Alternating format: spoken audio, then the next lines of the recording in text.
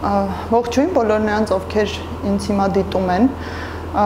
Որպես նախաբան նշեմ, որ ես լրագրող եմ, նաև հաղորդավար ու ինձ համարում եմ այս երկրի երևի թե ամենաանկախ լրագրողներից մեկը, սա անպայման ուզում եմ նշել շահարկումներից խուսափելու համար։ Ամենաանկախ գործունեություն եմ ծավալել, անդրադարձել եմ այն բոլոր թեմաներին, որոնք ես ինքս կարևոր եմ համարել եւ զգայուն եմ եղել։ Իմ էջից արդեն բոլորդ գիտեք, որ Էվայի դեպքերին անդրադառնալուց հետո շատ անսպասելի, սարսափելի հոսք սկսվեց նամակների իմ մեսենջերում տարբեր վաղեմության բռնությունների, բռնաբարության փորձերի, մանկապղծությունների, սեռական ոտնձգությունների նկարագրեր էին գալիս։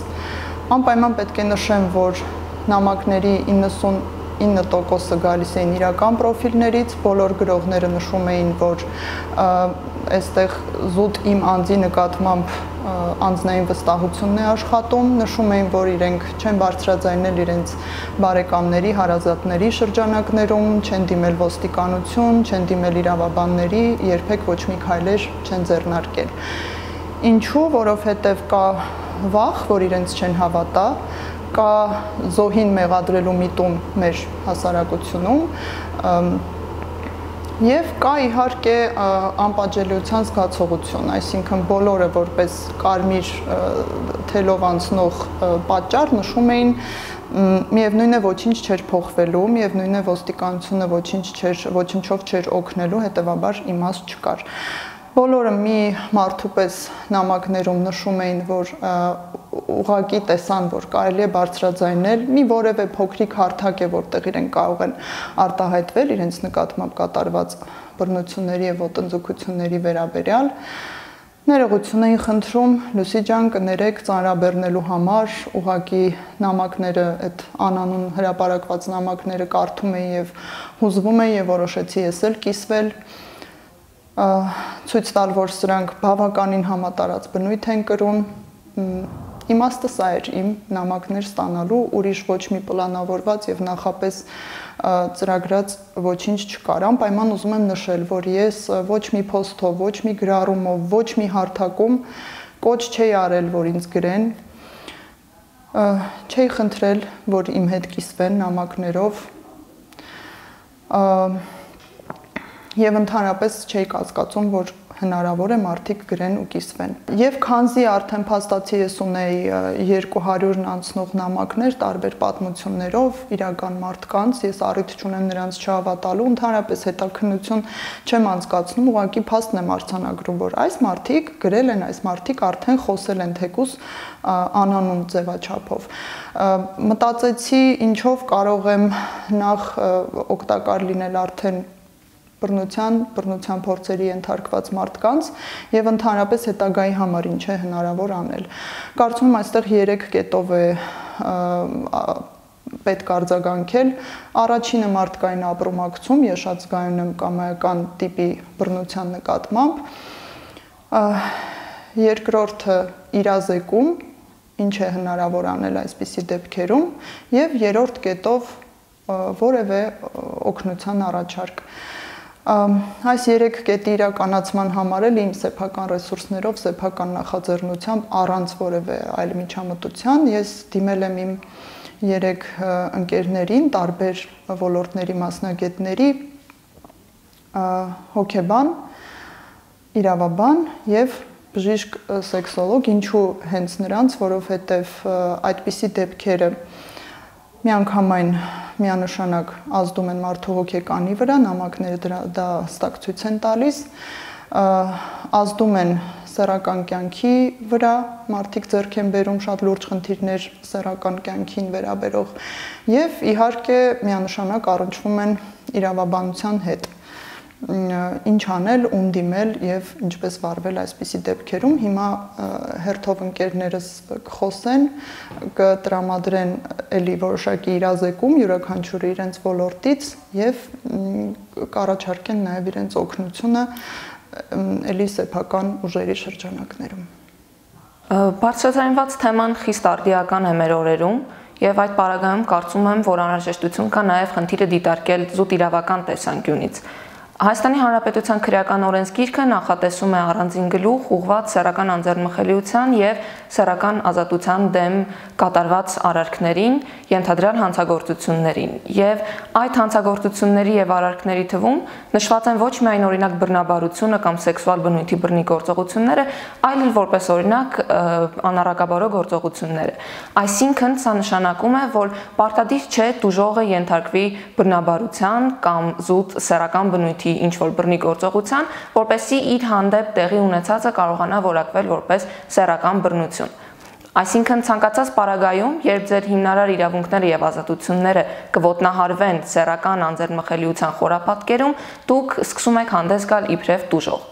Ինչ գործնական դաշտի գործիքներ ունեք դուք, որով կարող եք վերականգնել ձեր իրավունքները եւ սկսել դրանք իրացնել բնականon ճանապարհով, որովհետեւ առանց գործնական դաշտի գործիքակազմի տրամադրման այս ամենը կմնա զուտ խոսակցության եւ տեսական քննարկման մակարդակում։ Մասնավորապես առաջին հերթին խորհուրդ եմ տալիս դիմել իրավապահ մարմիններին հանցագործության մասին հաղորդում ներկայացնելու եղանակով։ Այսպիսով դուք հետաքննության կամ նախաքննության մարմնին կպատմեք ինչ է տեղի ունեցել ձեզ հետ եւ նրանք կնախաձեռնեն գործընթացը առ հանգամանքների բացահայտում եւ անգամ մինչեւ կասկածյալի հետագայում մեղադրյալի եւ այդ եւ process-ը կհանգի իր տրամաբանական վերջաբանին մասնավորապես անձին քրեական պատասխանատվության ենթարկելուն։ Ճիշտ չի լինի նշել, որ այս գործընթացը կլինի ձեզ համար ամենահաճելիներից, որովհետև այս process-ը ենթադրում է հստակ հարցադրումներին տալ հստակ պատասխաններ, վերհիշել, վերապրել, փորձել պատմել եւ մեկնաբանել ինչ եւ ինչ հանգամանքներում է տեղի ունեցել ձեզ հետ։ Այնուամենայնիվ, եթե դիտարկենք առավել լայն տեսադաշտում, կտեսնենք, որ թեպետ դուք որոշ ժամանակ ստիպված կլինեք վերապրել եւ տանել այդ ծանր բեռը, սակայն ի վերջո կհաղթի արդարությունը եւ ձեր իրավունքները կվերականգնվեն մի տրվեք սադրանքների եւ մի լսեք այն բոլոր անձանց, ովքեր փորձում են տեղի ունեցածում մեղադրել ձեզ, պնդելով, որ դե դիցուկ կարճ էր հակել կամ փաբում էր գտնվում կամ ալկոհոլային հարբածության վիճակում էր։ Օրինակը գուցե շատ ծայրահեղ լինի, բայց առավել պատկերավոր պատկերացնելու համար ցանկանում եմ տեղեկացնել, որ անգամ երբ դուք մերկ եք սպոսնում ինչ որտեղ, դա դեռ դիմացինին իրավունք չի տալիս որևէ կերպ ոտնահարելու ձեր սեռական անձեռնմխելիությունը։ Ամեն անգամ սեռական հարաբերության, սեռական ակտ գնալուց առաջ դուք պիտի տակ ձեր համաձայնությունը, որը ձևակերպված կլինի հստակ։ Այսինքն լրությունը ակցեպտ չէ, կամ այլ կերպ ասած, երբ ձեզ առաջարկում են սեռական հարաբերություն եւ դուք հստակ ձևակերպված այո չեք ասում, դուք դեռևս գտնվում եք ռիսկի գոտում եւ ձեր նկատմամբ տեղի ունեցածը կարող է որակվել իբրև սեռական բռնություն։ Այսուհետ ձեր համաձայնությունը ձևակերպեք հնարավորինս հստակ։ Նաև կարևոր է նշել, որ կարող եք դիմել մասնագետների, օրինակ իրավաբանների, որովհետև բացի սոցիալական եւ հոգեբանական ասպեկտներից, սա նաեւ իրավական դաշտի քննարկման հարց է։ Ես եւ իմ մի շարք գործընկերներ պատրաստ ենք անվճար խորհրդատվություն իրականացնել ընդհուպ միջև ձեր իրավունքների պաշտպանություն, միջև անգամ դատական պաշտպանություն, եթե գործը կհասնի դրան։ Միշտ հիշեք, որ եթե վարույթն իրականացնող մարմինը ըստ ձեզ ոչ պատշաճ վերաբերմունք է ցուցաբերել ձեր նկատմամբ, դուք ցանկացած անձի կատարած գործողությունները կարող եք բողոքարկել վերադասության կամ դատական կարգով։ Այսինքն մի ընկրկեք, մի ընկճվեք եւ մի մտածեք, որ հանրային մեկ ծառայողի գուցե եւ հավանական բաց բացասական վերաբերմունքը ձեր նկատմամբ արտահայտում է ողջ հանրույթի կամ պետական սեկտորի վերաբերմունքը արձես։ Հայանցայգանի ես կուզնելեկտին Այստեղ երկու հանգամանք է կարևոր նշել։ Առաջինը, երբ որ բարձրաձայնվում են կանանց նկատմամբ սեռական բռնության դեպքեր, սա չպետք է հակադրվի տղամարդկանց նկատմամբ բռնության դեպքերին, այսինքն այստեղ սեռը կամ գենդերը որևէ նշանակություն չունեն, քանզի բռնությունը շարունակում է մնալ բռնություն։ Մեկ այլ խոցելի խումբ են երեխաները, ում դեպքում ընթացակարգը առավելապես չի տարբերվում մեծահասակների նկատմամբ, չափահաս անձանց նկատմամբ ընթացող գործընթացներից։ Տարբերությունն այն է, որ նրանց հետ տարվող գործընթացներում կներգրավվեն հոգեբաններ եւ նաեւ մանկավարժներ։ Բացի այդ կան առանձին քրեական օրենսգրքով նախատեսված հանցակազմեր, որոնք նախատեսում են բռնություն հենց ակնհայտորեն 16 տարին չլրացած անձանց նկատմամբ։ Այսինքն մենք հստակ եւ շեշտադրված պաշտպանություն տրամադրում ենք նաեւ երեխաներին եւ անչափահասներին։ Այս բարակայում շատ 3 կարևոր կետ կան։ Առաջինը դա այն է, որ երեխաները, ովքեր հիմնականում դառնում են այս հարցում զոհ, որտեղ նրանք ավելի անմիջական են, ավելի միամիտ են եւ շատ ավելի հեշտ են տրվում մանիպուլյացիաների։ Գիտեք, մի շարք կոճակներ կան, որ կարելի է սեղմել եւ մանիպուլացնել երեխային, օրինակ չնեղացնեմ, ված չզգայս, ինչ որ մեկ անեմ, ցույց տամ ինչքան լավն եմ ես, հա, այդ երեք հարցերին պատասխանելով թեկուզ երեխան արդեն իսկ կարող է բռնության ենթարկվել ինչ որ մեկի կողմից, ով անպայման ուզում է հոգալ իր ինչ-ինչ խնդիրները, սակայն այստեղ երեխան պետք է ուղակի հասկանա, որտեղ են սկսվում եւ ավարտում նրա անձնական սահմանները նա պետք է հասկանա, որ կան ինչ-ինչ հարցեր, որտեղ նա պետք է ասի ոչ։ Եվ երեխան ամենակարևորը պետք է դա սովորի ծնողի հետ մենք գիտենք, որ երբ մենք երեխային սովորեցնում ենք, հա, որ սա սա ես եմ, սա իմ մարմինը, այստեղ շատերս գնում ենք չափազանցությունների, որ երեխան հիմա առհասարակ դուր կշխկացնի, ոչ ոչ մեկին չի ուզենա տեսնի, այսինչու եք մեզ այդքան հեռացնում մեր երեխաներից, բայց հիմա ծնող, հարգելի ծնող, դուք ուզում եք, որ երեխան ձեզ հետ սովորի ասել ոչ, թե ինչ որ ուրիշ օտար տղամարդկանց, կանանց, օտար մարդկանց հետ շատ ավելի արդյունավետ է եթե ծնող եթե երեխան սովորի ասել ոչ ծնողի հետ։ Դա նրան կօգնի։ Եվ բնականաբար կփրկի նրան բռնությունից։ Հաջորդ քայլը դա այն է, որ աղջիկները, չափահաս աղջիկները թեկուզ նրանք պետք է հստակ իմանան, որ եթե տեղի է ունեցել մի բան, որ նրանց եղել է տհաճ, որ նրանք զգում են որպես բռնություն, իսկ բռնությունը դա այն է, երբ տեղի ունենում սեռական ցավալի կոնտակտ առանց քո թույլտվության, առանց քո ցանկության։ Պետք է անպայման խոսել այն հարցերի մասին, այն կետերի մասին, որոնք որ կարող են բերել տրավմայի։ Բռնության մասին պետք է խոսել Ինչու, որովհետև դա է հենց այն, ինչ բերում է խորը հոգեբանական հետևանքների։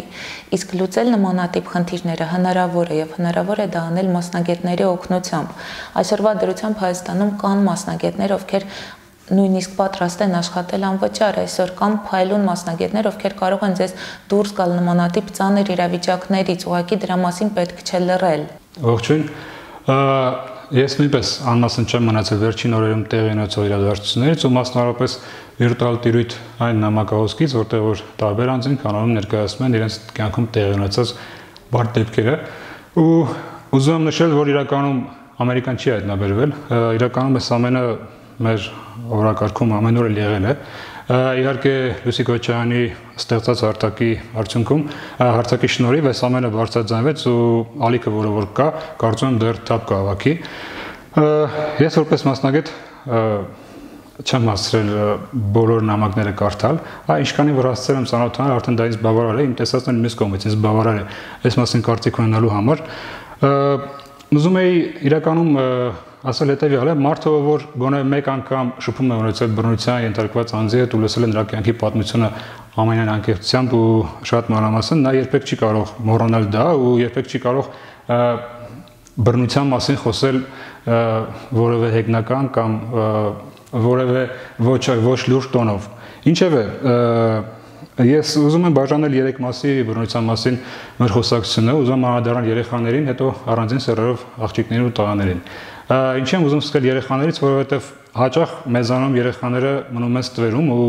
հաճախ երեխան, որը որ այսօր ենթարկվել է բռնության 20 կամ 25 տարի կամ 30 տարի անց մի օր հայտնվում է բժշկի սենյակում ու սկսում է պատմել իր հետ 25 տարի առաջ տեղի ունեցած ու հարցը առաջանում թե ինչ է երեխան 25 տարի հետո իր սեռական կյանքի մեկնարկից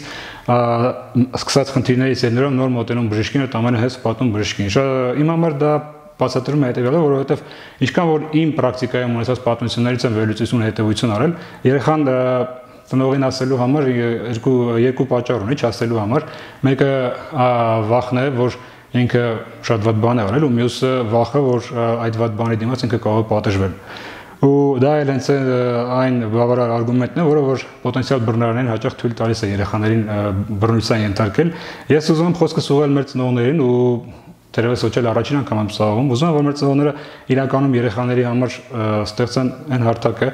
ունենան երեխաների հետ այն հարաբերությունը, որտեղ որ երեխան ցանկացած հարցի դեպ հարցի դեպքում առաջինը հենց կդիմի ծնողին ու կխոսի ծնողի հետ, որովհետև վստահ եմ, որ ծնողներից զատ ոչ ոք ել ավել երեխաներին չի կարող օգնել նման հարցերում։ Իհարկե սա այն դեպքերի մասն է, երբ որ բռնարարը ծնողը չէ, ցավոք նման դեպքերի եւս մեր իրականությունում կան։